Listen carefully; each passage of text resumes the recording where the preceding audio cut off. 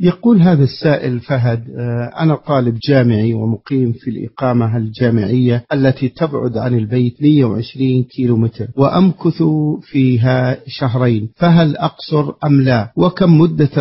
القصر والسلام عليكم لا يجوز لك القصر ولا الجمع لأنك لست مسافر لست بمسافر انقطاع السفر بإقامتك الطويلة من نوى إقامة أكثر من أربعة أيام فإنه لا يجوز له القصر لأنه أصبح مقيم حليما نعم